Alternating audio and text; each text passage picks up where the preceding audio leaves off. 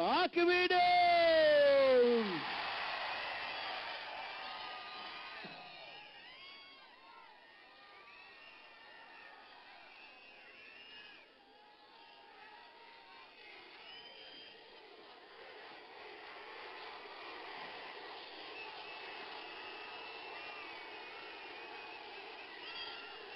ఎండాకాలం ఎండలు అదరగొడతా ఉన్నాయి. అయినా కూడా మండుతున్న ఈ ఎండలను ఏమాత్రం కూడా ఖాతరు చేయకుండా వేల మంది అడుగులు వేశారు నాతో పాటు. ఒకవైపున కష్టాలు చెప్పుకుంటూ అర్జీలు ఇస్తూ మరోవైపున ఆ కష్టాల్లో నుంచే నా భుజాన్ని తడుతూ అన్నా నీకు తోడుగా మేమంతా ఉన్నామన్నా అంటూ. నాతో పాటు అడుగులు అడుగు వేశారు. ఏ ఒక్కరికి కూడా నాతో పాటు ఆ ఎండలో నడవలసిన పని లేదు.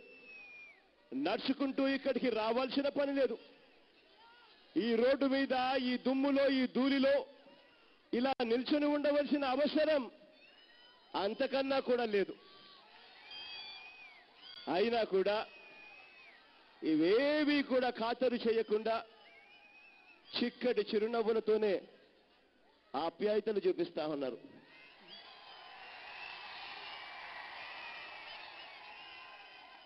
ప్రేమానురాగాలు పంచిపెడతా ఉన్నారు. ఆత్మీయతలను చూపిస్తా ఉన్నారు. మీ అందరి ప్రేమాభిమానాలకు మీ అందరి ఆప్యాయతలకు మీ అందరి ఆత్మీయతలకు ప్రతి అక్కకు ప్రతి చెల్లెమ్మకు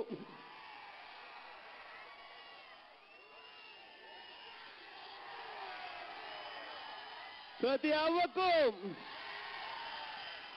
ప్రతి తాతకు ప్రతి సోదరుడికి ప్రతి స్నేహితుడికి మీ అందరి ఆప్యాయతలకు మీ అందరి ప్రేమానురాగాలకు మీ అందరి ఆత్మీయతలకు రెండు చేతులు జోడించి శిరస్సు వంచి పేరు పేరున హృదయపూర్వకంగా కృతజ్ఞత తెలుపుకుంటా ఉన్నాను.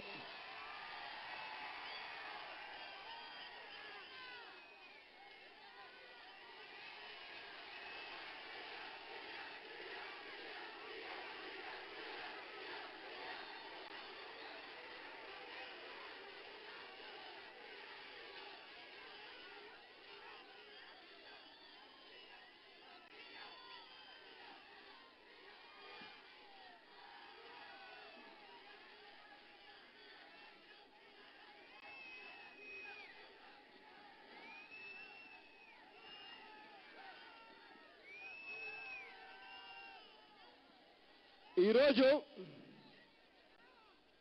ఉండి నియోజకవర్గంలో పాదయాత్రలు జరుగుతూ ఉండగా ఈ నియోజకవర్గంలో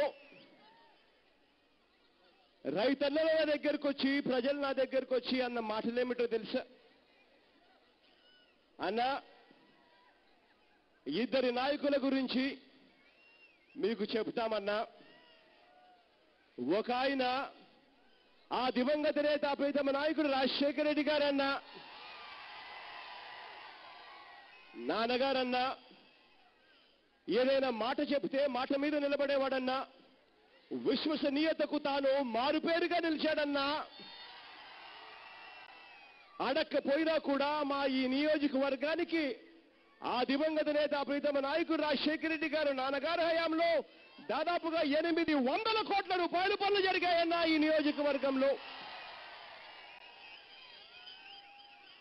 ఇల్లు లేని నిరుపేదలందరికీ కూడా ఇల్లు కట్టించాడన్నా నీళ్ళు లేని పరిస్థితుల్లో అవస్థలు పడతా ఉన్నాము అనంటే ముందడుగు వేశాడన్నా ప్రాజెక్టులు కట్టి. కానీ ఈరోజు చంద్రబాబు నాయుడు గారి పాలన నాలుగు సంవత్సరాలుగా చూస్తా ఉన్నామన్నా. నాలుగు సంవత్సరాల పాలనగా మా జిల్లాలో పదహైదు నియోజకవర్గాలుంటే పదహైదుకు పదహైదు నియోజకవర్గాలు చంద్రబాబు నాయుడు గారికి కట్టబెట్టామన్నా మేం చేసిన పాపం అదేనేమో అన్నా అని చెప్పి ఇవాళ ఇక్కడున్న ప్రజలు మాపోతా ఉంటే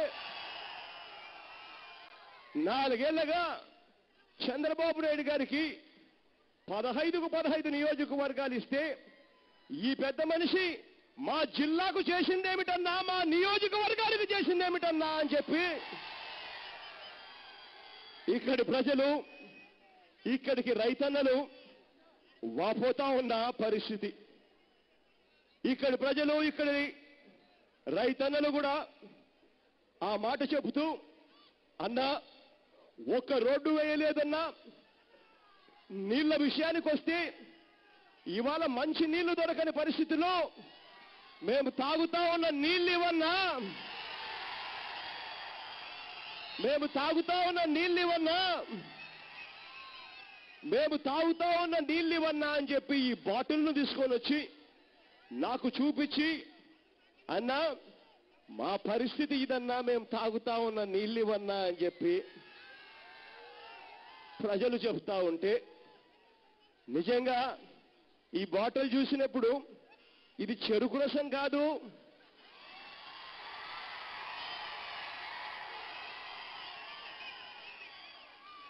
చెరుకు రసం కాదు చంద్రబాబు గారు ఇది.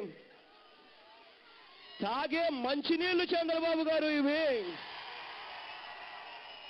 అని ప్రజల తరపున చంద్రబాబు నాయుడు గారికి చూపిస్తా ఉన్నా.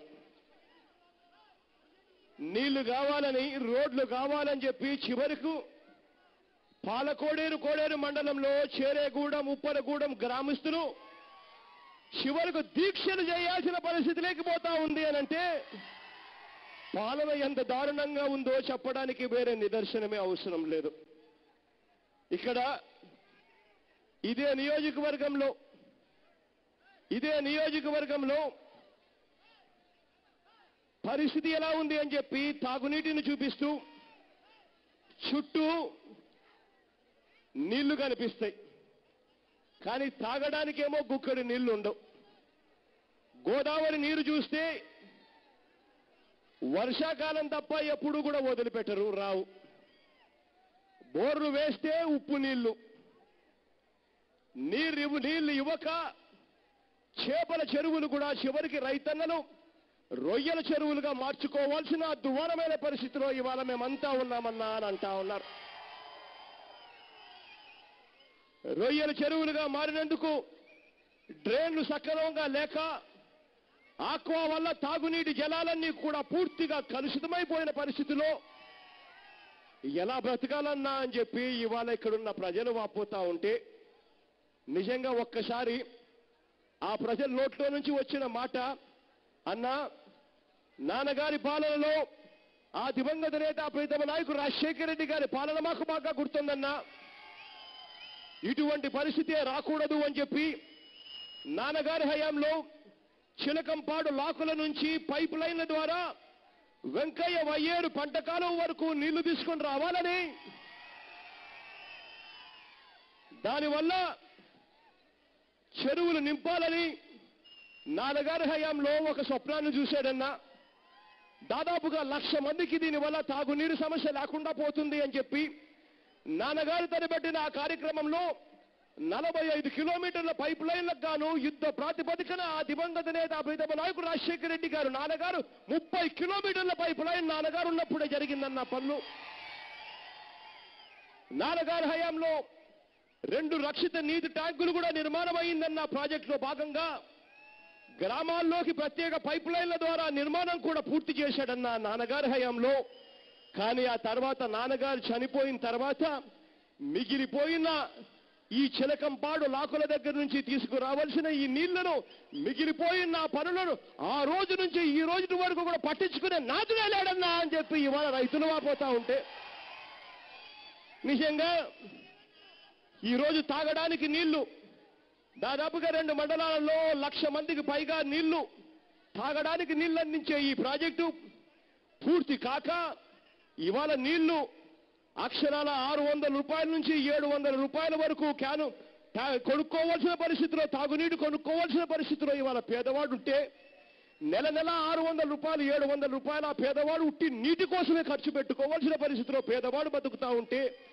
నేను అడుగుతా ఉన్నాను చంద్రబాబు నాయుడు గారిని మీ అందరి తరపున అడుగుతా ఉన్నాను ఆ దివంగత నేత ప్రీతమ నాయకుడు రాజశేఖర రెడ్డి గారిది రామరాజ్యం కాదా అని చెప్పి అడుగుతా ఉన్నాను. మీ నాలుగేళ్ళ పాలన రాక్షస పాలన కాదా అని చెప్పి నేను చంద్రబాబు నాయుడు గారిని నిలదీస్తూ అడుగుతా ఉన్నా. ఇదే చంద్రబాబు నాయుడు గారి హయాం. నాలుగు సంవత్సరాలుగా ఈ పెద్ద మనిషి చంద్రబాబు నాయుడు గారు ఆ రోజు ముఖ్యమంత్రి కావడం కోసం అన్న మాటలు ప్రతి పేదవాడికి మూడు సెంట్ల స్థలం ప్రతి పేదవాడికి ఇల్లు కట్టిస్తాను అని చెప్పి ఆ రోజు ఎన్నికలప్పుడు చంద్రబాబు నాయుడు గారు ఊదరగొట్టారు. కొట్టారు ఊదరు కొట్టిన ఈ చంద్రబాబు నాయుడు గారిని నేను మిమ్మల్ని అడుగుతా ఉన్నా. నాలుగు సంవత్సరాలు అయిపోయింది కనీసం ఒక్క ఇల్లన్నా కట్టించిన బాబాల పోయాడా చంద్రబాబు నాయుడు గారు అడుగుతా ఉన్నా. నాలుగేళ్ళు అయిపోయింది ఒక్క ఇల్లు కూడా పెద్ద మనిషి కట్టించలేదు. అదే ఆ దివంగత నేత ప్రీతమ నాయకుడు రాజశేఖర రెడ్డి గారి హయాంలో వేల ఇల్లులు కట్టించిన పరిస్థితి ఈ నియోజకవర్గంలో ప్రజలు గుర్తుకు తెచ్చుకుంటా ఉంటే ఈ పెద్ద మనిషి చంద్రబాబు నాయుడు గారి హయాంలో ఒక్క పేదవాడికి ఇల్లు కానీ ఇంటి స్థలం కానీ ఇవ్వలేదు కానీ ఉండిలో దొరగారి చెరువును దొరగారి చెరువును కబ్జా చేసి అక్కడ మల్టీప్లెక్స్ కడతాడట ఈ పెద్ద మనిషి. బ్రిటిష్ కాలం నుంచి ప్రజల గొంతును తడుపుతా ఉన్న మంచినీటి చెరువును పూర్తి చేస్తాడట ఈ పెద్ద మనిషి. ఈ పెద్ద మనిషి పేదవాళ్ళకు మూడు సెంట్ల స్థలం ఇచ్చేదానికి పెద్ద మనిషికి మనిషి మనసు రాదు కానీ ఈ పెద్ద మనిషి మాత్రం చంద్రబాబు నాయుడు గారు ఇక్కడ ఎమ్మెల్యే గారు అడిగిన వెంటనే మూడు వందల యాభై ఎకరాలు ఇస్తాడు ఏలూరుకు దగ్గరలో. అది కూడా ఎంతకి ఇస్తాడో తెలుసా రేటు? ఎకరా కోటిన్నర చేసే భూమి ఈ ఎమ్మెల్యే గారికి కేవలం పన్నెండున్నర లక్షల రూపాయలకి ఇస్తాడు ఎకరాకు చంద్రబాబు నాయుడు గారు. పేదవాడికి మూడు సెంట్ల స్థలం ఇవ్వడానికి మనసు రాదు కానీ ఈ ఎమ్మెల్యే గారికి అడిగిన వెంటనే ఎకరా కోటిన్నర చేసే భూమిని కేవలం పన్నెండున్నర లక్ష పన్నెండున్నర లక్షలకు ఎకరాకు మూడు వందల యాభై ఎకరాలు దారదత్తం చేస్తాడు చంద్రబాబు నాయుడు గారు. కారణం చంద్రబాబు నాయుడు గారికి బాగా పుడతా ఉంది కాబట్టి. నిజంగా ఇవాళ పరిస్థితి ఎలా ఉంది అని చెప్పి రైతన్నలు నా దగ్గరికి వచ్చి వాపోతా ఉన్నారు. అన్నా దాల్వా పంటకు వచ్చేసరికి నీళ్ళు అందని పరిస్థితిలో మేమంతా ఉన్నామన్నా. పశ్చిమ డెల్టాకు ఏడు వేల ఆరు వందల క్యూసెక్ల నీటిని నికర జలాల అలాట్మెంట్ మాకుందన్నా. అయినా అందులో కనీసం మూడు వేల ఐదు వందల క్యూసెక్కులు నీళ్ళు కూడా ఇవ్వడం లేదన్నా అని చెప్పి రైతన్నలు వాపోతా ఉంటే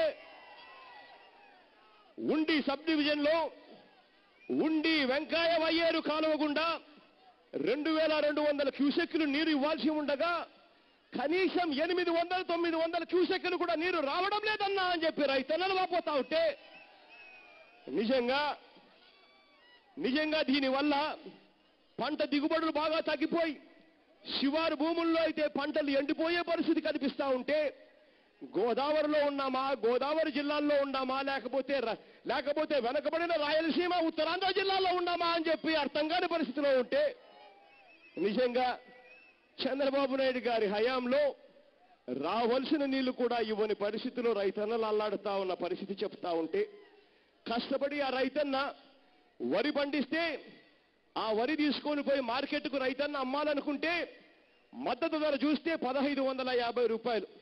కానీ ఆ రైతన్న వెళ్ళి అమ్మాలనుకుంటే ఇవాళ పదకొండు వందల యాభై రూపాయల నుంచి పన్నెండు వందల రూపాయలు కూడా రాని పరిస్థితిలో రైతన్న ఇవాళ వరి అమ్ముకుంటా ఉంటే ఇంతకన్నా దారుణం ఎక్కడైనా ఉంటుందా అని చెప్పి నేను అడుగుతా ఉన్నా.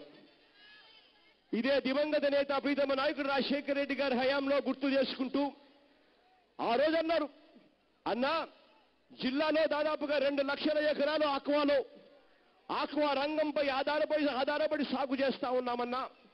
ఆ రోజుల్లో నాన్నగారు మాకు తోడుగా ఉండేందుకు అడిగిన వెంటనే ఆరు సబ్స్టేషన్లు ఆ దివంగత నేత ప్రీతమ నాయకుడు రాజశేఖర రెడ్డి గారి హయాంలో శాంక్షన్ అయితే కడితే ఈరోజు మా పరిస్థితి ఏమిటి అని అంటే సబ్ స్టేషన్ల కదా దేవుడు ఎరుగున్నా కనీసం కరెంట్ కనెక్షన్ కూడా ఇవ్వని పరిస్థితిలో ఇవాళ మేమంతా బతుకుతా ఉన్నామన్నా అని చెప్పి రైతన్నలు వాపోతా ఉంటే ఇంతకన్నా దారుణమైన పరిపాలన ఎక్కడన్నా జరుగుతుందా అని అడుగుతా ఉన్నా.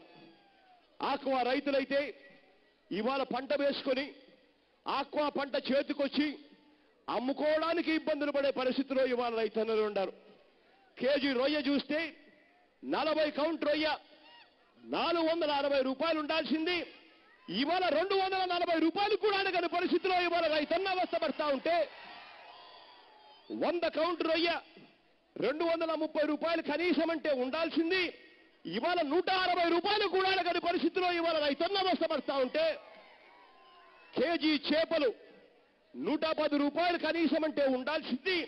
ఇవాళ ఎనభై రూపాయలు కూడా అడగని పరిస్థితిలో ఇవాళ రైతన్న ఇబ్బంది పడతా ఉంటే నిజంగా రైతన్నలు అన్నా రేట్లు చూస్తే ఎలా ఉండాయి అంటే పంట చేతికి రాకముందేమో రేట్లు బాగుంటాయన్నా పంట తీరా చేతికి వచ్చేసరికి రేట్లు చూస్తామా అని అంటే వ్యాపారులంతా కూడా దళారీలుగా అయిపోయి వ్యాపారులంతా సిండికేట్ అయిపోయి రేటును నాశనం చేస్తా ఉన్నారన్నా మమ్మల్ని అందరినీ కూడా నాశనం చేస్తా ఉన్నారన్నా అని చెప్పి చెప్తా ఉంటే ప్రభుత్వం దళారీల వ్యవస్థను కట్టడి చేయాల్సింది పోయి సాక్షాత్తు చంద్రబాబు నాయుడు గారే వ్యాపారులతో దళారీలతో తానే లంచాలు మెక్కుతూ తానే దళారీలకు నాయకుడైపోయి పూర్తిగా వ్యవస్థను దళారీలమయం చేసి రైతన్నల అవస్థల పాలు చేస్తా ఉంటే ఇంతకన్నా దారుణమైన పాలన ఎక్కడన్నా ఉందా అని చెప్పి రైతన్నలు వాపోతా ఉన్నారు. ఆకువ రైతుల పరిస్థితి ఎలా ఉంది అని అంటే వర్షాకాలం తప్ప వర్షాకాలం తప్ప నీళ్ళు అందుబాటులో ఉండడం లేదు.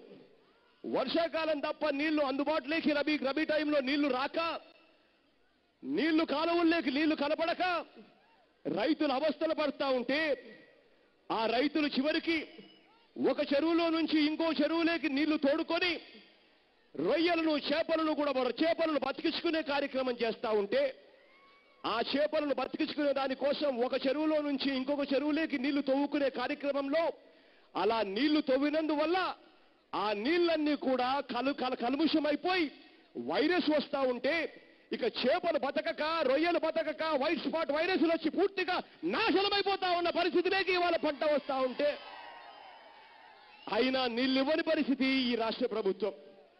రైతన్నులు నాతో మాట్లాడుతా అన్నారు. అన్నా ఆక్వా రంగం మీద ఆధారపడి ఉన్నామన్నా చేపలు రొయ్యల సీడు ఉత్పత్తి చూస్తే ఆందోళనకరంగా ఉందన్న మా అందరికీ కూడా కారణం ఏంటంటే హ్యాచరీలు పుట్టగొడుగులు మాదిరి హ్యాచరీలు వచ్చాయన్నా. ఆ హ్యాచరీలలో మేము సీడ్ తెచ్చుకుంటే చిన్న చిన్న రొయ్య పిల్లలు చిన్న చిన్న చేప పిల్లలు తెచ్చుకుంటే అవి ఎలా బతుకుతా ఉన్నాయి అని చెప్పి నాణ్యత లేని సీడ్ ఇవాళ ఇస్తా ఉన్నారన్నా మాకు. ఆ సీడు ఏమిటి అని చెప్పి ఆ సీడులో నాణ్యత ఉందా లేదా అని చెప్పి మేము చెక్ చేయించుకోవాలంటే చివరికి గవర్నమెంట్ ల్యాబులన్నీ కూడా మూసేసే పరిస్థితిలో ఉన్నాయన్నా. చెక్ చేయించుకోవాలంటే కాకినాడకు పోవాల్సి వస్తా ఉందన్నా అని చెప్పి రైతన్నలు అంటా ఉంటే ప్రైవేట్ ల్యాబులను ప్రోత్సహిస్తా ఉన్నారు.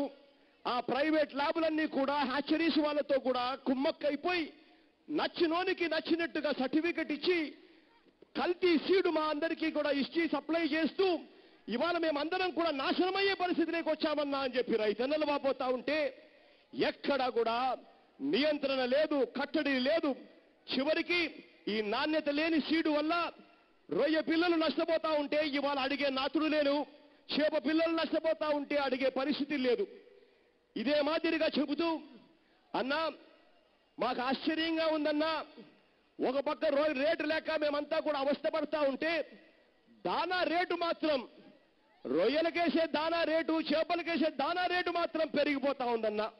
మాకేమో రేటు ఉండదు కానీ దానికి తిండి పెట్టడానికేమో దానా రేటేమో విపరీతంగా పెరిగిపోతా ఉందన్నా అని చెప్పి రైతన్నులు వాపోతా ఉంటే అన్నా సోయాబీన్ రేట్ తగ్గిందన్నా. ఫిష్ ఆయిల్ రేట్ తగ్గింది ఫిష్ మీల్ తగ్గింది వేరుశనగ చక్కెర రేటు తగ్గింది పత్తి పిండి రేటు తగ్గింది నువ్వుల చెక్క రేటు తగ్గింది ముడి పదార్థాల రేటు అన్నీ కూడా తగ్గిపోయినా కూడా కంపెనీ వాళ్ళు మాత్రం దానా సప్లై చేసే రేటు మాత్రం కేజీ ఎనభై రూపాయలకు అమ్ముతా ఉన్నారన్నా. మేము ఎక్కడి నుంచి తెస్తామన్నా ఇంత పెట్టి అని చెప్పి రైతన్నలు అంటా ఉంటే పట్టించుకునే పరిస్థితి లేదు. నియంత్రణ చేసే పరిస్థితి లేదు. సీడ్ల ధర మీద నాణ్యత మీద దానా ఖర్చుల మీద రాష్ట్ర ప్రభుత్వం నియంత్రణ గన పూర్తిగా ఉండి ఉంటే రైతన్నకు కనీసం అంటే కేజీ మీద కనీసం యాభై రూపాయలకు రైతన్నకు గిట్టుబాటు అయ్యే పరిస్థితి వచ్చి ఉండేది. అవేవి కూడా వదిలేసిన పరిస్థితిలో రైతన్న ఇవాళ నాశనమైపోతా ఉన్న పరిస్థితి. ఇదే జిల్లాలో పదహైదుకు పదహైదు నియోజకవర్గాలు చంద్రబాబు నాయుడు గారికి కట్టబెడితే చంద్రబాబు నాయుడు గారు చేయాల్సింది ఏమిటి అనంటే తోడుగా రైతన్నలకు ఉండాల్సింది పోయి ఇవాళ రైతన్నలను నాశనం చేస్తా ఉన్న పరిస్థితి ఇవాళ కనిపిస్తా ఉంది. ఒకవైపున చూస్తే రొయ్యలు చేపలకు సంబంధించి ఉత్పత్తులు బాగా పెరిగిపోతా ఉన్నాయి.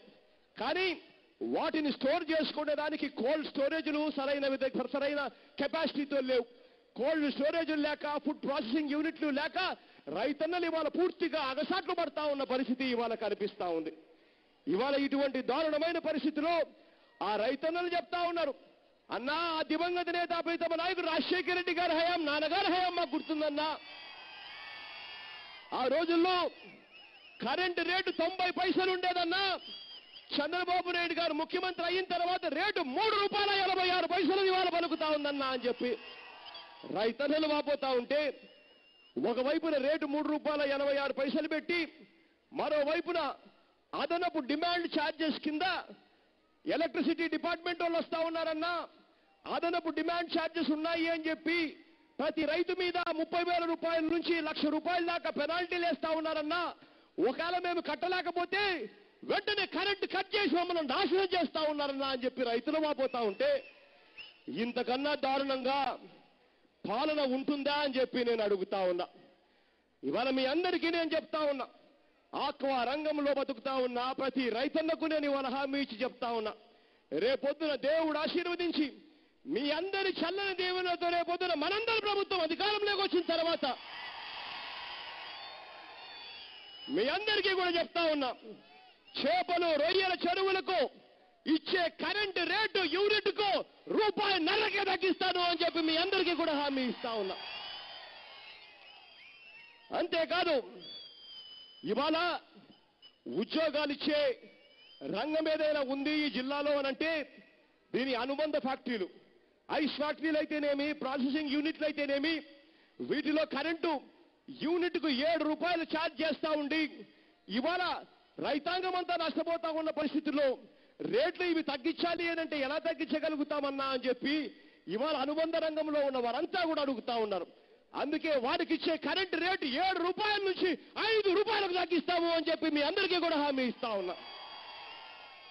అంతేకాదు ఇవాళ రైతన్నలు ఎవరు కూడా నష్టపోకుండా ఉండేందుకు సీడ్ నుంచి ఫీడ్ వరకు కూడా నాణ్యత పరిణామాలు ఉండేట్టుగా మంచి లాభులు తీసుకొస్తాము. నాణ్యత పరంగా అన్ని రకాలుగా రైతులకు తోడుగా ఉండేందుకు గట్టి చట్టాలను తీసుకొని వచ్చి రైతన్నకు తోడుగా ఉంటారని చెప్పి మీ అందరికీ కూడా చెప్తా ఉన్నాను. అదే మాదిరిగా పంట చేతికి వచ్చినప్పుడు ధరలు పడిపోయే పరిస్థితి తీసుకొస్తా ఉన్నారు దళారీలు ఎక్స్పోర్టర్లు. వీళ్ళంతా కూడా ఒకటే ఈ రకంగా నాశనం చేస్తా ఉన్నారు. వీళ్ళందరినీ కూడా నియంత్రిస్తాను అని చెప్పి మీ అందరికీ కూడా సభాముఖంగా చెప్తా ఉన్నాము. అన్ని రకాలుగా తోడుగా ఉంటారని చెప్పి మీ అందరికీ కూడా చెబుతూ ఇవాళ ఈ రొయ్యలకు కానీ ఈ చేపలకు కానీ ఇవాళ స్టోర్ చేసుకునే పరిస్థితి లేదు కాబట్టి దళారీలు వ్యాపారులు మన జీవితాలతో చెలగాటలాడుతూ ఉన్నారు. కానీ వీటిని కనుక మనం కోల్డ్ స్టోరేజ్లలో స్టోర్ చేయగలిగితే ఫుడ్ ప్రాసెసింగ్ యూనిట్లు సముద్ర తీరంలో మనం ఎక్కువగా తెచ్చుకోగలిగితే రైతన్నలకి ఈ పరిస్థితి ఉండదు. ఎందుకనంటే కోల్డ్ స్టోరేజ్లో కానీ ఫుడ్ ప్రాసెసింగ్ యూనిట్లలో కానీ ఈ రొయ్యలను పెట్టుకుంటే కనీసం ఆరు నెలల నుంచి సంవత్సరం పాటు ఇవన్నీ కూడా స్టోర్ చేసుకునే పరిస్థితి వస్తుంది. రైతులకు రేటు వస్తుంది కాబట్టి స్టోర్ చేసుకునే పరిస్థితి వస్తుంది కాబట్టి మూడు సంవత్సరాలలో రైతులు పండిస్తా ఉన్న కెపాసిటీ మేరకు కోల్డ్ స్టోరేజ్లు తీసుకొస్తాము ఫుడ్ ప్రాసెసింగ్ యూనిట్ తీసుకొస్తాము సముద్ర తీరంలో ఇవన్నీ కూడా పెడతాము అని చెప్పి మీ అందరికీ కూడా హామీ ఇస్తూ మూడు సంవత్సరాలలో ఈ కార్యక్రమాలన్నీ చేసి నాలుగో సంవత్సరంలో రైతన్నలకు మద్దతు ధర కూడా ప్రకటిస్తాము అని చెప్పి మీ అందరికీ కూడా హామీ ఇస్తా ఉన్నా. ఇవాళ ఇంతటి దారుణంగా ఇవాళ ఇక్కడ పరిపాలన జరుగుతూ ఉంది. జరుగుతా ఉంది అన్న సంగతి ఈ జిల్లా ప్రజలుగా ఈ జిల్లా సమస్యలు మీకు అందరికీ కూడా తెలిసిన నేపథ్యంలో రాష్ట్ర ప్రభుత్వం ఏమాత్రం కూడా పట్టించుకోని పరిస్థితిలో నాలుగేళ్ళు గడిచిపోయింది. నాలుగేళ్ళ ఈ చంద్రబాబు నాయుడు గారి పాలన మీరు చూశారు. నాలుగేళ్ళ ఈ చంద్రబాబు నాయుడు గారి పాలన చూసిన తర్వాత మరో సంవత్సరంలో ఎన్నికలు జరగబోతా ఉన్నాయని చెప్పి ఊదల కొడతా చెప్తా ఉన్నాడు చంద్రబాబు నాయుడు గారు. ఇటువంటి పరిస్థితిలో నేను మిమ్మల్ని అందరినీ కూడా అడుగుతా ఉన్నా. నాలుగు సంవత్సరాల ఈ పాలన చూశారు కాబట్టి అడుగుతా ఉన్నా. సంవత్సరంలో ఎన్నికలు వస్తా ఉన్నాయి కాబట్టి మిమ్మల్ని అడుగుతా ఉన్నా. ఈ నాలుగు సంవత్సరాలలో మీలో ఎవరైనా చంద్రబాబు నాయుడు గారి పాలనతో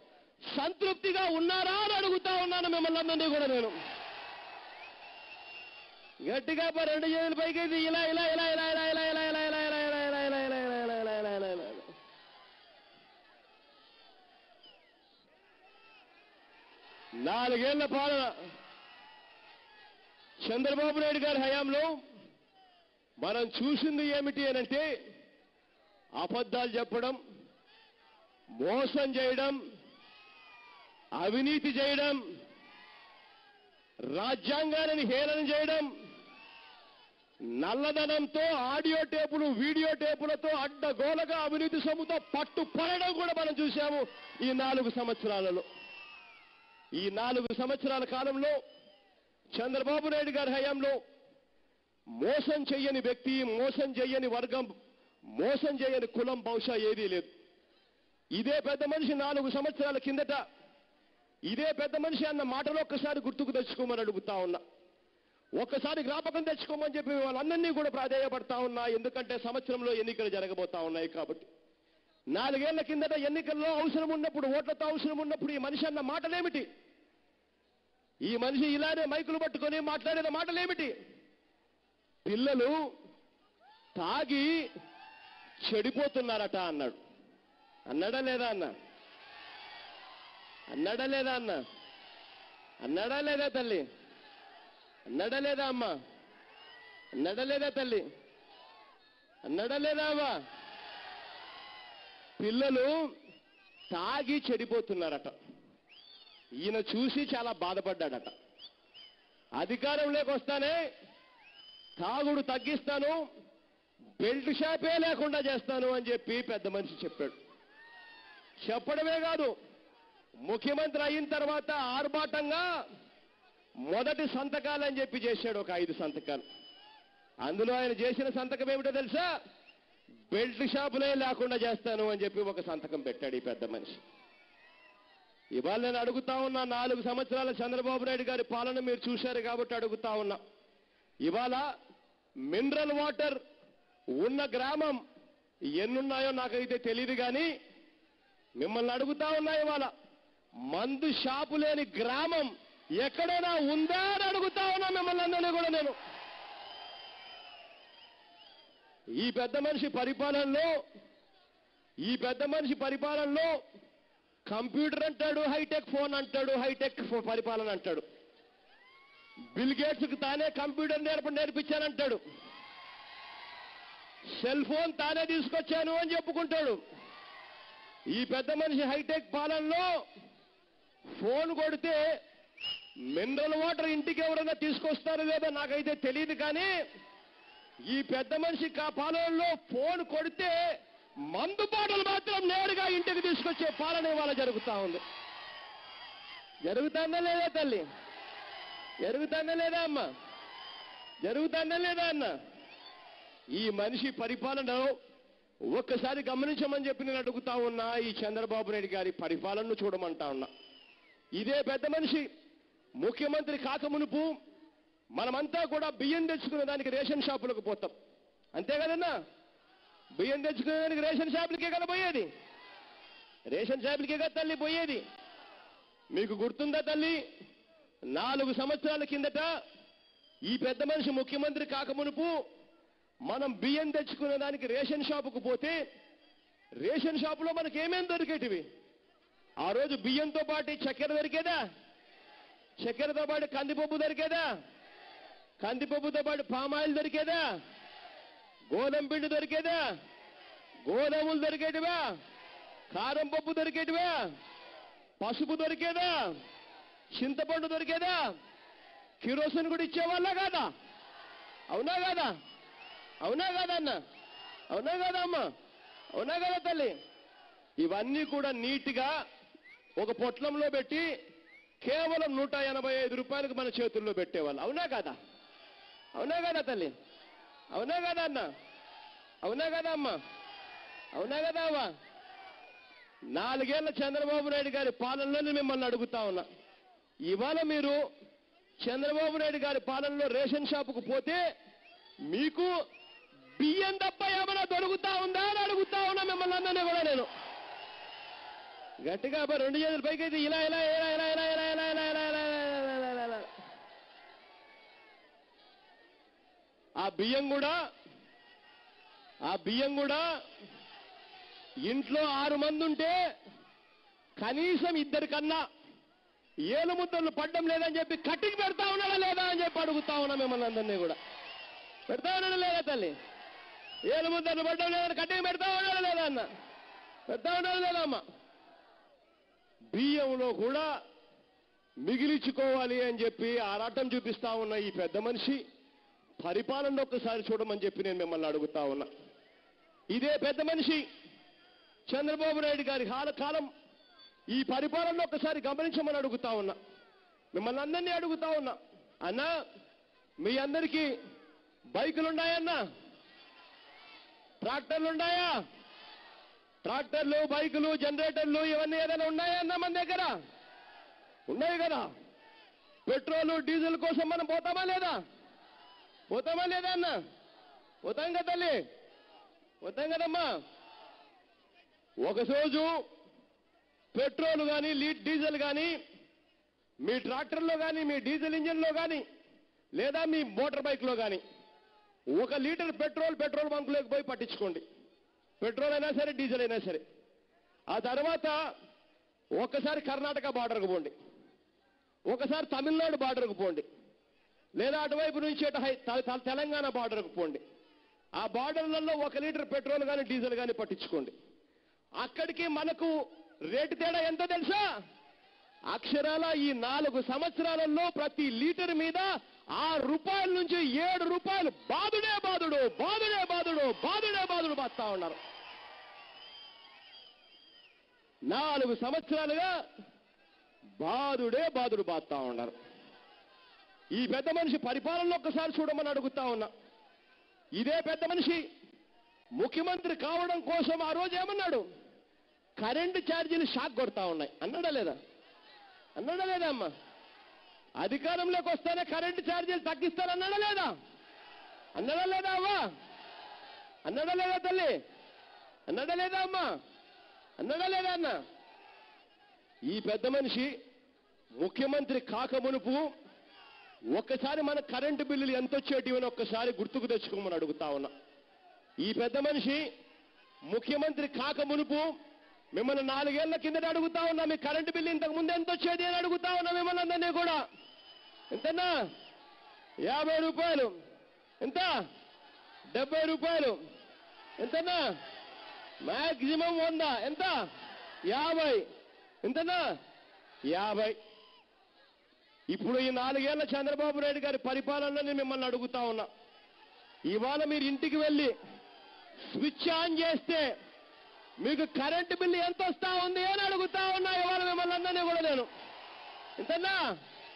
ఐదు వందలు. ఎంతన్నా? ఎంత? ఐదు వందలు.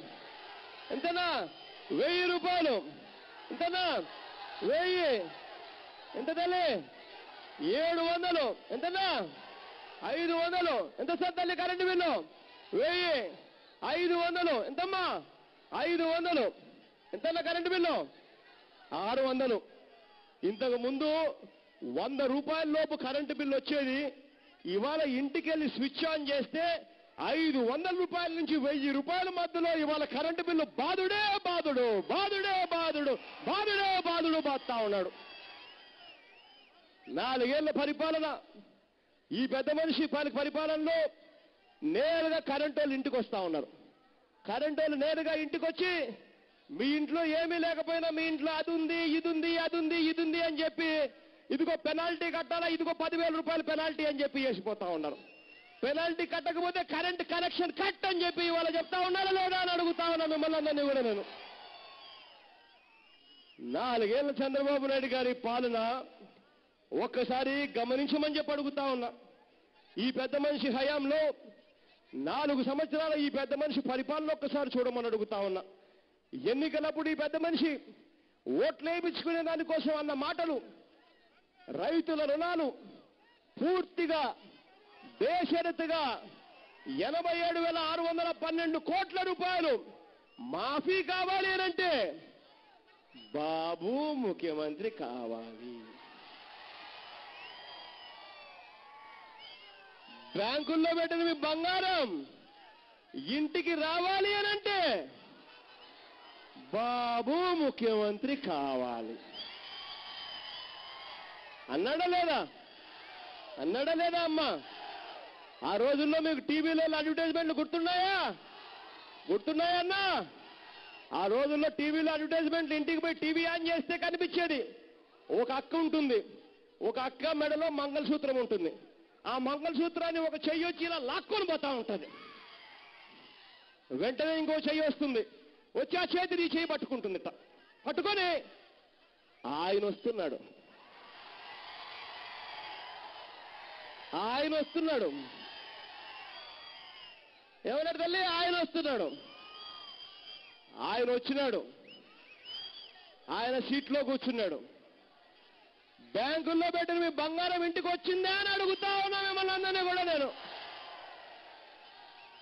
రాలా. కానీ బ్యాంకులలో పంపిస్తా ఉన్న వేలం నోటీసులు మాత్రం ఇంటికి వస్తా ఉన్నాయా లేదా అని అడుగుతా ఉన్నా మిమ్మల్ని అందరినీ కూడా నేను. వారం నోటీసులు మాత్రం ఇంటికి వస్తా ఉన్నాయి. నాలుగేళ్ళ కిందట ఆయన అన్న మాటలు పొదుపు సంఘాల అక్క చెల్లెమ్మలు. నేనే కనిపెట్టే ఆ పొదుపు సంఘాల అక్క చెల్లెమ్మలు అనేవాడు. అన్నాడా లేదా అమ్మ ఆయనే కనిపెట్టాడంట. అన్నాడా లేదా పొదుపు సంఘాల అక్క చెల్లెమ్మలు చాలా బాధపడతా ఉన్నారట. విలపిస్తా ఉన్నారట ఆయన అన్న మాటలు. కాబట్టి అక్క చెల్లెమ్మలకు తోడుగా ఉండేందుకు ఈయనన్న మాట అక్క చెల్లెమ్మల రుణాలు పూర్తిగా మాఫీ కావాలి అని అంటే బాబు ముఖ్యమంత్రి కావాలి. అన్నాడా లేదా అమ్మ? అన్నాడా లేదా తల్లి? అన్నాడా లేదా అన్న? అన్నాడా లేదా అన్న? అన్నాడా లేదా తల్లి? నాలుగేళ్ళ తర్వాత అడుగుతా ఉన్నా. మిమ్మల్ని అందరినీ అడుగుతా ఉన్నా.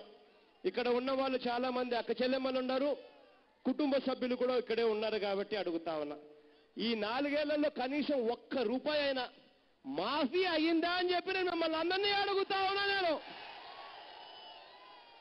గట్టిగా అబ్బా రెండు చేతులు పైకి ఇలా ఇలా ఇలా ఇలా ఇలా ఇలా ఇలా ఇలా ఇలా ఇలా ఇలా ఇలా ఇలా ఇలా ఇలా ఇలా ఒక్క రూపాయి మాఫీ గల మామూలుగా ఎవరైనా ఎన్నికలప్పుడు ఏదైనా అబద్ధాలు మోసాలు చెప్పాలి అని అంటే ఆడవాళ్ళకు అబద్ధాలు చెప్పి మోసం చేస్తే ఆడవాళ్ళు కన్నీరు పెడితే ఇంటికి అరిష్టం అంటారు.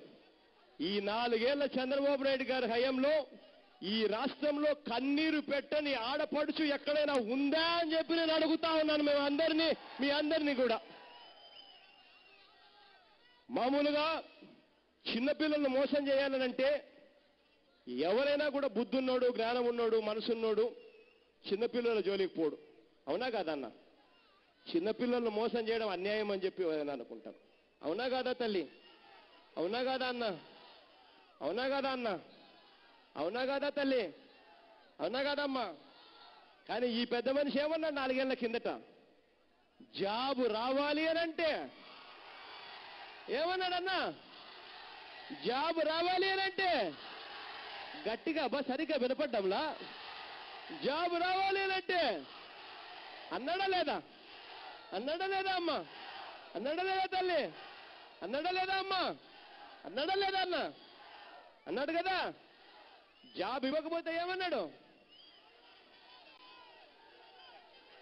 ఇంటింటికి ఇంటింటికి మనిషిని పంపించాడు. ఇంటింటికి మనిషిని పంపించి ఆ మనిషి చేత ఒక లెటర్ తీసుకొని వచ్చినాడు ఆ మనిషి. ఒక లెటర్ తీసుకొని వచ్చి ఆ లెటర్లో చంద్రబాబు నాయుడు గారు స్వయంగా సంతకం పెట్టాడు కింద లెటర్లో. ఆ లెటర్ తీసుకొని వచ్చి ప్రతి అక్క దగ్గరికి వెళ్ళాడు. వెళ్ళి ఆ అక్కకు ఆ లెటర్ చూపించాడు. ఆ అక్క అడిగింది ఏంది నాయనా ఈ లెటరు? అని. ఆ అక్కకు చెప్పినాడు అమ్మా చంద్రబాబు నాయుడు గారు స్వయంగా నా దగ్గర నేను మీ దగ్గరికి నన్ను పంపించినాడమ్మా ఈ లెటర్ ఇచ్చి అని. ఆ అక్క అడిగింది నిజమా అమ్మా? అని చెప్పి అడిగింది అక్క. అవును నిజము అని చెప్పి అవునక్క నిజము అని చెప్పి చెప్పాడు. వచ్చిన కార్యకర్త చెప్పినాడా లేదమ్మా చెప్పినాడా లేదా తల్లి. వచ్చి ఏమన్నాడు? అమ్మా మీ పిల్లోళ్ళు ఏమీ చదవకపోయినా పర్వాలేదమ్మా. ప్రతి ఇంటికి ఉద్యోగం అన్నా ఇస్తాడు. ఉద్యోగం ఇవ్వకపోతే ప్రతి ఇంటికి ఉపాధి అన్నా ఇస్తాడు. ఈ రెండు కన్నా ఇవ్వకపోతే చంద్రబాబు నాయుడు గారు స్వయంగా చెప్పమన్నారమ్మా. మీ దగ్గరకు వచ్చి మీతో కూర్చొని ఆయన సంతకం పెట్టిన లెటర్ ఒకసారి మీకు అందరికీ చూపించి మీ అందరికీ కూడా ఇలా రెండేళ్ళు చూపించమన్నాడమ్మా. చూపించి ఇలా ఇలా ఇలా ఇలా ఊపమన్నాడమ్మా. ఊపి నెల నెల రెండు వేలు ఇస్తానని చెప్పి చెప్పన్నాడు అన్నాడు అన్నాడు లేదా అమ్మా? అన్నాడా లేదా తల్లి? అన్నాడా లేదా అమ్మా? అన్నాడా లేదా తల్లి? అన్నాడా లేదా అమ్మా? అన్నాడా లేదా? దాదాపుగా నాలుగేళ్ళు అయిపోయింది. ఇంకొక ఆరు నెలల్లో ఎలక్షన్లు వస్తాయి. నాలుగేళ్ళు అయిపోయింది కాబట్టి ఎప్పుడన్నా చంద్రబాబు మీ దగ్గరికి వచ్చి కనపడితే నలభై ఎనిమిది నెలలు లేదా యాభై నెలలు నలభై ఎనిమిది నెలలు ఇంటూ నెలకు రెండు వేల రూపాయలంటే ప్రతి ఇంటికి తొంభై ఆరు వేలు బాకీ ఉన్నాడా లేదా అని అడుగుతా ఉన్నా మిమ్మల్ని అందరినీ కూడా నేను. ఎప్పుడన్నా కనిపిస్తే అడగండి అక్క. అవ్వా కనిపిస్తే గట్టిగా అడగాల. గట్టిగా అడగాలన్నా. గట్టిగా అడగాలి తల్లి కనిపిస్తే మాత్రం. తొంభై ఆరు వేలు ప్రతి ఇంటికి బాకీ ఉన్నాడు. ఒక్కసారి గమనించమని అడుగుతా ఉన్నా. ఇలాంటి పెద్ద మనిషి నాలుగు సంవత్సరాల ఈ పెద్ద మనిషి పాలనలో మనం చూసింది ఏమిటి అని అంటే అబద్ధాలు చెప్పడం మోసం చేయడం అన్యాయాలు చేయడం అవినీతి చేయడం మనం చూసాం ఇవాళ నేను మిమ్మల్ని అందరినీ అడుగుతా ఉన్నా. ఈ పెద్ద మనిషి నాలుగు సంవత్సరాలు ఈ పెద్ద మనిషి ఏమి చేయలా. అబద్ధాలు మోసాలు చెప్పాడు. కానీ ఆరు నెలల్లో ఎన్నికలు వస్తా ఉన్నాయనేసరికి ఈ పెద్ద మనిషి ఏం చేస్తాడు? ఏం చేస్తాడన్నా? ఇంతవరకు జైలా. కానీ ఆరు నెలల్లో మాత్రం ఎన్నికలు వస్తాయంటే చంద్రబాబు నాయుడు గారు ఏం చేస్తారు? ఆయన ఏం చేస్తారో తెలుసా? ఓ ఇంకా పెన్షన్లు ఇవ్వలేదు అందరికీ. నాకు ఇప్పుడే గుర్తుకొచ్చింది నాకు తెలియదు అంటాడు ఈ పెద్ద మనిషి. మొన్ననో నిన్ననో ఈనాడు పేపర్లో అనుకుంటా. పెన్షన్లు యాభై లక్షలకు తీసుకొని పోతా ఉన్నాడంట. నాలుగేళ్ళు గుర్తుకు రాలా. ఆరు నెలల్లో ఎలక్షన్ ఉన్నాయంటే గుర్తుకొస్తా ఉన్నారు. ఈ పెద్ద మనిషి ఏమంటాడు? నాలుగేళ్ళు గుర్తుకు రాలా. రెండు వేల రూపాయలు పిల్లలకు నిరుద్యోగ వృత్తి ఇవ్వాలని. ఆరు నెలల్లో ఎలక్షన్ ఉన్నాయంటే ఇప్పుడు గుర్తుకొస్తుందట. అయ్యో పిల్లలు ఉన్నారా? వాళ్ళు చదివారా? రెండు వేలు ఇవ్వాలా? అయ్యో నేను మర్చిపోయానే అని చెప్పి ఇప్పుడు అంటాడు. నాలుగేళ్ళు పట్టించుకోడు. ఆరు నెలల్లో ఎలక్షన్లు ఉన్నాయనంటే మాత్రం మళ్ళీ డ్రామా మళ్ళీ జిమిక్ మళ్ళీ ఆర్టిస్టులు డ్రామాలు యాక్టింగ్లు సినిమా స్క్రిప్టు. మళ్ళీ స్టార్ట్. పొరపాటును కూడా నేను మీ అందరికీ అడుగుతా ఉన్నా. ఇలాంటి అబద్ధాలు చెప్పే వ్యక్తులను ఇలాంటి మోసం చేసే వ్యక్తులను పొరపాటును కూడా మీరు క్షమిస్తే ఈ చెడిపోయిన ఈ రాజకీయ వ్యవస్థ ఎప్పుడూ కూడా బాగుపడదు. రాజకీయ వ్యవస్థలోకి విశ్వసనీయత అన్న పదానికి అర్థం రావాలి. ఈ రాజకీయ వ్యవస్థలోకి నిజాయితీ అన్న పదానికి అర్థం రావాలి. ఏదైనా రాజకీయ నాయకుడు మైకు పట్టుకొని నేను ఫలానిది చేస్తాను అని చెప్తే ఆ చెప్పింది ఆ రాజకీయ నాయకుడు చేయకపోతే తన పదవికి తాను రాజీనామా చేసి ఇంటికి వెళ్ళిపోయే పరిస్థితి తీసుకొని రావాలి. అప్పుడే ఈ చెడిపోయిన ఈ రాజకీయ వ్యవస్థలోకి మార్పులు వస్తాయి అప్పుడే ఈ చెడిపోయిన రాజకీయ వ్యవస్థలోకి విశ్వసనీయత అన్న పదానికి అర్థం వస్తుంది. ఒకవేళ పొరపాటున ఇలాంటి అబద్ధాలు చెప్పే వ్యక్తులను ఇలాంటి మోసం చేసే వ్యక్తుల్ని పొరపాటును కూడా ఈ చంద్రబాబు నాయుడు గారిని మీరు క్షమిస్తే రేపొద్దున ఈ చంద్రబాబు నాయుడు గారు ఏం చేస్తారో తెలుసా? తెలుసా అన్న ఏం చేస్తాడో? తెలుసా తల్లి ఏం చేస్తాడో రేపొద్దున? తెలుసా అన్నా? తెలుసన్నా? తెలుసా తల్లి ఏం చేస్తాడు? ఇక మీరు చిన్న చిన్న అబద్ధాలు చిన్న చిన్న మోసాలకు మీరు నమ్మరు అని ఆయనకు తెలుసు. అటు ఆయన ఏం చేస్తారో తెలుసా? రేపొద్దున ఎన్నికలు వచ్చేసరికి మైక్ పట్టుకుంటే ఆయన ఏం చేస్తారో తెలుసా? చిన్న చిన్న అబద్ధాలు చిన్న చిన్న మోసాలు మీరు నమ్మరని ఆయనకు తెలుసు కాబట్టి ఏం చేస్తారో తెలుసా? ప్రతి ఇంటికి కేజీ బంగారం ఇస్తాను అని అంటాడు. నమ్ముతారా అన్నా? కేజీ బంగారు తల్లి నమ్ముతారా? నమ్ముతారన్నా అమ్మా నమ్ముతారా? కేజీ బంగారు నమ్ముతారన్నా నమ్ముతారమ్మా నమ్ముతారన్నా అక్క కేజీ బంగారు. కేజీ బంగారు ఇస్తారని ఆయన చెప్పినా మీరు నమ్మరు అన్న సంగతి ఆయనకు బాగా తెలుసు. ఆయనకు బాగా తెలుసు కాబట్టి ఆయన ఏం చేస్తారో తెలుసా? కేజీ బంగారు ఇస్తారని ఆయన చెప్పినా మీరు నమ్మరు అన్న సంగతి ఆయనకు బాగా తెలుసు. కాబట్టి ఆయన ఏం చేస్తారో తెలుసా? కేజీ బంగారానికి బోనస్ అంటాడు. బోనస్ ఏమిటో తెలుసన్నా తెలుసా తల్లి బోనస్ ఏమిటో? బోనస్ ఏమిటో తెలుసా తల్లి? ప్రతి ఇంటికి కేజీ బంగారుతో పాటు ప్రతి ఇంటికి ఒక బెంచ్ కారు కొనిస్తాను అని అంటాడు. నమ్ముతారన్నా కేజీ బంగారు బెంచ్ కారు. నమ్ముతారా తల్లి? నమ్ముతారన్నా నమ్ముతారన్నా నమ్ముతారక్క నమ్ముతారమ్మా అవ్వా? నమ్ముతావా? కేజీ బంగారు బెంచ్ కారు.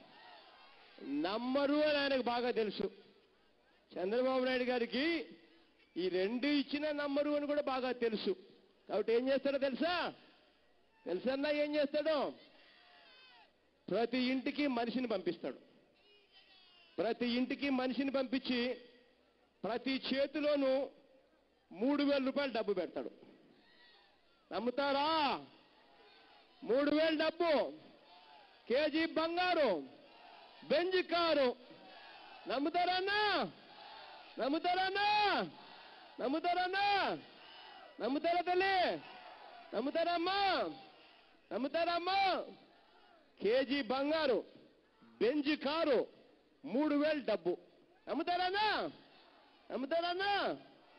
కానీ మూడు వేలు డబ్బు ఇస్తే మాత్రం వద్దు అని మాత్రం అనొద్దండి.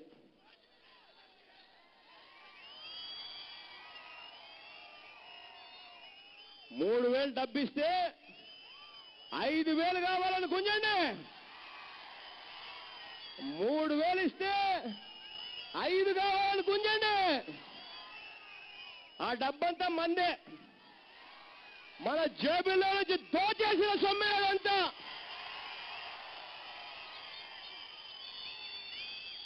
కాబట్టి మూడు వేలు ఇస్తే ఐదు వేలు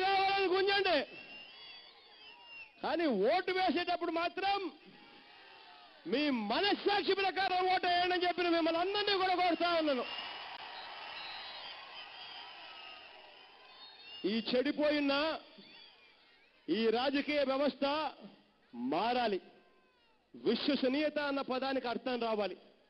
ఈ చెడిపోయిన రాజకీయ వ్యవస్థలోకి నిజాయితీ అన్న పదానికి అర్థం రావాలి. అప్పుడే ఈ వ్యవస్థ బాగుపడుతుంది. రేపొద్దున ఇటువంటి అన్యాయమైన వ్యవస్థ పోయి రేపొద్దున దేవుడు ఆశీర్వదించి మీ అందరి చల్లని దీవెలతో రేపొద్దున మనందరి ప్రభుత్వం అధికారంలోకి వచ్చిన తర్వాత మనం ఏం చేయబోతా ఉన్నాము అన్నది మనం ఏం చేయబోతా ఉన్నాము అన్నది మనం నవరత్నాల ద్వారా చెప్పాం. నవరత్నాల ద్వారా నవరత్నాల ద్వారా నవరత్నాల ద్వారా మనం ఏం చేయబోతా ఉన్నాము అన్న సంగతి చెప్పాం. నవరత్నాల్లోని ప్రతి అంశము కూడా అన్ని అంశాలను ఒకే మీటింగ్లో చెప్పుకుంటూ పోతే సమయం సరిపోదు కాబట్టి నవరత్నాల్లోని కొన్ని అంశాలను మాత్రమే ప్రతి మీటింగ్లోనూ చెప్పుకుంటూ పోతా.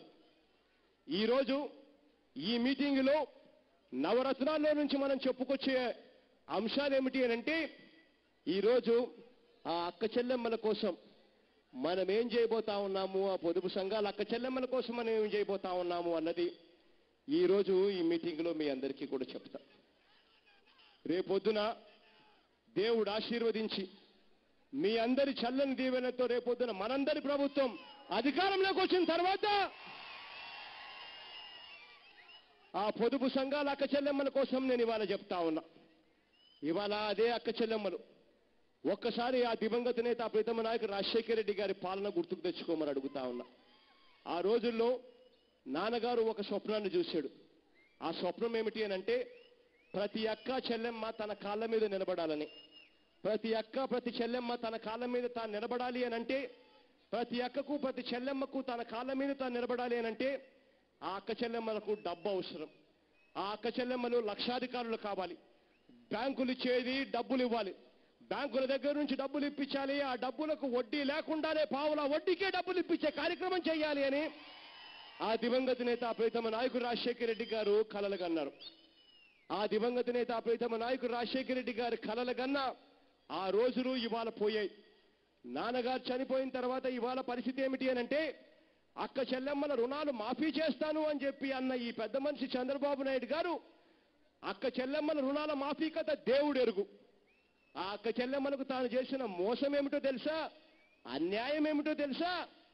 ఆ కచెల్లెమ్మలకు చేసిన అన్యాయం ఏమిటి అంటే ఆ కచెల్లెమ్మలకు కానీ రైతన్నలకు కానీ బ్యాంకులు వడ్డీ లేకుండా రుణాలు ఆ కచెల్లెమ్మలకు ఇవ్వాలి అని అంటే ఆ బ్యాంకులకు ప్రభుత్వము వాళ్ళ తరపున వడ్డీ డబ్బులు కట్టాలి. ఎప్పుడైతే ప్రభుత్వం పొదుపు సంఘాల అక్క చెల్లెమ్మలకు సంబంధించిన వడ్డీ డబ్బులు రైతన్నలకు సంబంధించిన వడ్డీ డబ్బులు ప్రభుత్వం కడుతుందో అప్పుడు బ్యాంకులు రైతన్నలకు కానీ పొదుపు సంఘాల అక్క చెల్లెమ్మలకు కానీ వడ్డీ లేకుండా డబ్బులు వస్తాయి ఈయన చేసిన అన్యాయం ఏమిటి అనంటే ఈయన గారు ముఖ్యమంత్రి అయిన తర్వాత రై రైతన్నలకు పొదుపు సంఘాల అక్క చెల్లెమ్మలకు రుణాల మాఫీ అన్నది మోసమైతే ఆయన చేసిన అన్యాయం ఏమిటి అనంటే వీళ్ళ తరపున కట్టాల్సిన వడ్డీ డబ్బులు పూర్తిగా కట్టకుండా ఎగరగొట్టిన పాపాన పోయాడు ఈ పెద్ద మనిషి చంద్రబాబు నాయుడు గారు.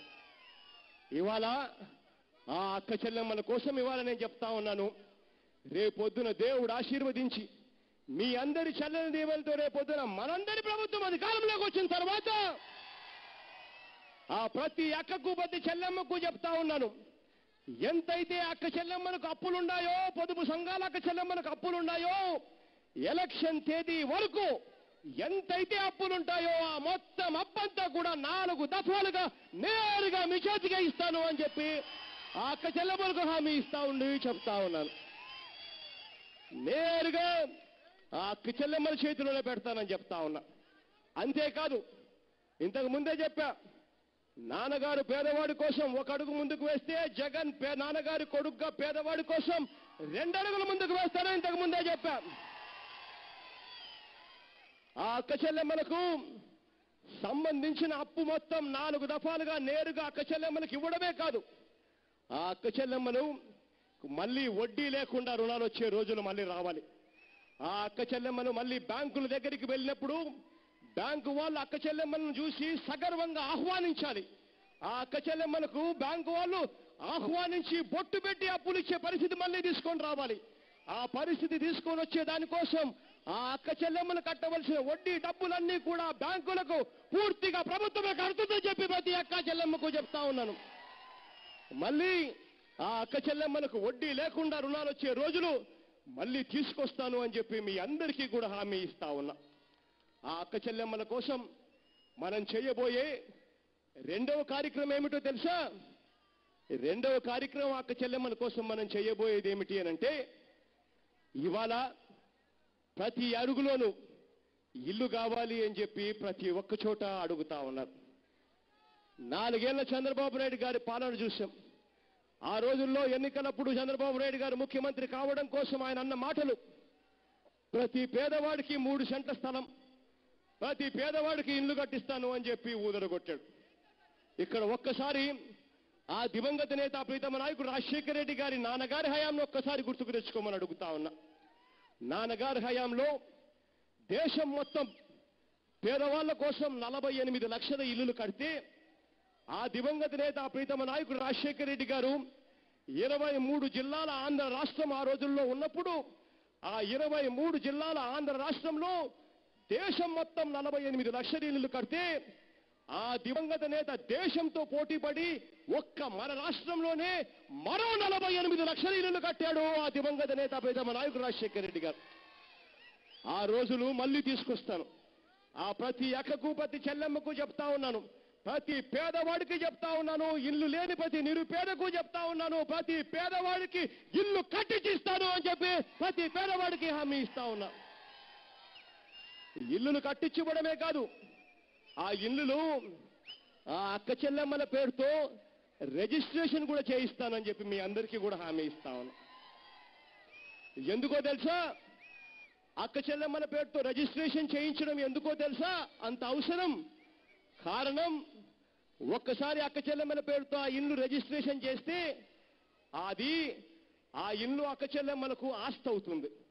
ఒక్కసారి అక్క చెల్లెమ్మలకు ఆ ఇల్లు అనేది ఆస్తి రూపంలో అక్క చెల్లెమ్మలకు వస్తే ఆ అక్క చెల్లెమ్మలకు రేపు పొద్దున ఎప్పుడైనా అవసరం వచ్చినప్పుడు ఏ ముప్పై వేల రూపాయలు నలభై వేల రూపాయలు యాభై వేల రూపాయలు కావాల్సి వచ్చినప్పుడు ఆ అక్క చెల్లెమ్మల ఆ ఇంటి పేపర్లను ఇంటి పత్రాలను వాళ్ళ ఆస్తిని తీసుకొని పోయి బ్యాంకుకు పోవచ్చు. బ్యాంకులో ఆ అక్కచెల్లెమ్మలకు ముప్పై వేలు నలభై వేల రూపాయలు ఆ ఇంటి పత్రాలను పెట్టుకొని పావుల వడ్డీకి అక్క చెల్లెమ్మలకు డబ్బు వచ్చేట్టుగా చేస్తాను అని చెప్పి కూడా హామీ ఇస్తా ఉన్నా. ఇది ఆ అక్క చెల్లెమ్మలకు మనం చేయబోయే రెండవ కార్యక్రమం. మూడవ కార్యక్రమం నవరత్నాల్లో నుంచి ఈ రోజు సభలో నేను చెప్పబోయే చివరి అంశం ఏమిటి అంటే నవరత్నాల్లో నుంచి మనం చేయబోయే ఆ అవ్వలకు తాతలకు చేయబోయే అంశం ఈరోజు చివరి అంశంగా చెప్తాను ఇవాళ అవ్వా తాతలకు ఇచ్చే పెన్షన్. చంద్రబాబు నాయుడు గారికి అవ్వా తాతలకు ఇచ్చే పెన్షన్ పెంచాలంటే మనసు రాదు. అవ్వా తాతలకు వయసు పెరుగుతూ ఉన్నాయి కొద్దీ మందులు పెరుగుతూ ఉన్నాయి ఖర్చులు పెరుగుతూ ఉన్నాయి. అయినా కానీ చంద్రబాబు నాయుడు గారికి మనసు రాదు. కానీ కాంట్రాక్టర్లకు మాత్రం రేట్లు పెంచాలంటే మాత్రం చంద్రబాబు నాయుడు గారికి బాగా మనసు వస్తుంది. కారణం ఏంటో తెలుసా? లంచాలు బాగా అందుతాయి నేరుగా కాబట్టి. అదే అవ్వాతాతలకు పెన్షన్ పెన్షన్ రూపంలో డబ్బిస్తే అది చంద్రబాబు నాయుడు దాకా రాదు. జన్మభూమి కమిటీ సభ్యులే కొద్దో గొప్ప తీసుకుంటారు అంతే అక్కడే అయిపోతాయి కాబట్టి చంద్రబాబు నాయుడు గారు అవ్వాతాతల జోలికి ఆలోచన చేయడు. కానీ ఇవాళ ఆ ప్రతి అవ్వకు చెప్తా ఉన్నా ఆ ప్రతి తాతకు ఇవాళ నేను చెప్తా ఉన్నా రేపొద్దున దేవుడు ఆశీర్వదించి మీ అందరి చల్లని దీవెనతో రేపొద్దున మనందరి ప్రభుత్వం అధికారంలోకి వచ్చిన తర్వాత మనం ఈ అవ్వాతాతలకు ఏం చేయబోతా ఉన్నామోనంటే ఈ అవ్వ తాతలకు ఇచ్చే పెన్షన్ వెయ్యి రెండు వేల రూపాయలు చేయబోతా ఉన్నాము అని చెప్పి ప్రతి అవ్వ ప్రతి తాతకు చెప్తా ఉన్నా. అంతేకాదు అంతేకాదు ఇచ్చే ఆ పెన్షన్ వయసు అరవై ఐదు సంవత్సరాల నుంచి అరవై సంవత్సరాలకే తగ్గిస్తాం. తగ్గించడమే కాదు. ఎస్సీలు ఎస్టీలు బీసీలు మైనారిటీలు ఇటువంటి అక్కల కోసం ఇవాళ నేను మళ్ళీ చెప్తా ఉన్నా. నిజంగా ఇటువంటి దారుణమైన పేదరికంలో ఉన్నారు అని అంటే ఈ ఎస్సీలు ఎస్టీలు బీసీలు మైనారిటీ అక్క చెల్లెమ్మలు ఎంతటి దారుణంగా ఉన్నారు అని అంటే పనులకు పోతే కానీ కడుపు నిండని పరిస్థితి. ఒక వారం వీళ్ళకి గన పొరపాటున ఏదైనా జ్వరం వచ్చి పనులకు పోకపోతే ఇంట్లో పస్తు పండుకోవాల్సిన పనిలో ఉన్నారు ఈ అక్క చెల్లెమ్మలు. ఈ అక్కల కోసం నేను చెప్తా ఉన్నా. ప్రతి అక్క కోసము చెప్తా ఉన్నాను. ఈ ఎస్సీలు ఎస్టీలు బీసీలు మైనారిటీ ప్రతి అక్క కోసము చెప్తా ఉన్నాను. పెన్షన్ రెండు వేల రూపాయలు ఇవ్వడమే కాదు పెన్షన్ వయసు ఈ అక్కల కోసం నలభై ఐదేళ్ళకే తగ్గిస్తాము అని చెప్పి ప్రతి అక్కకు నేను ఇవాళ హామీ ఇచ్చి చెప్తా ఉన్నా.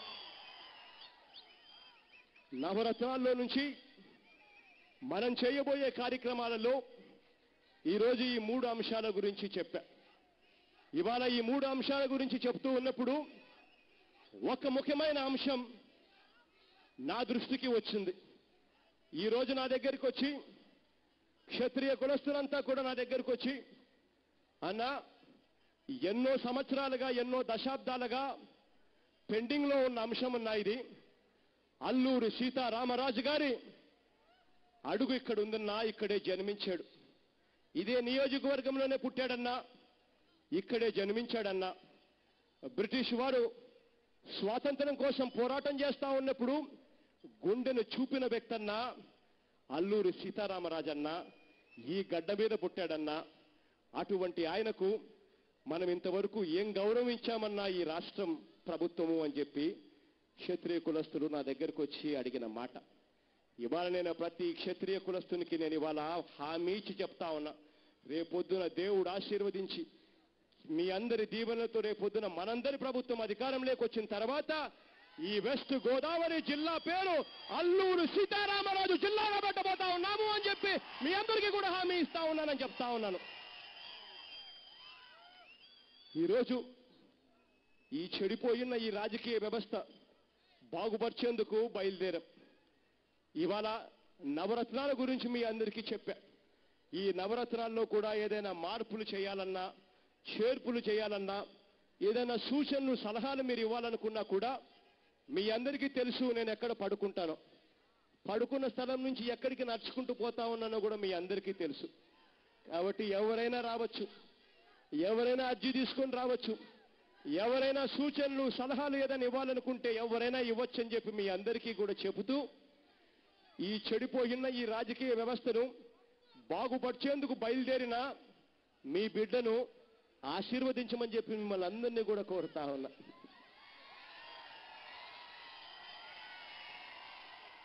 దీవించమని చెప్పి మిమ్మల్ని అందరితో కూడా ప్రాధేయపడతా ఉన్నా.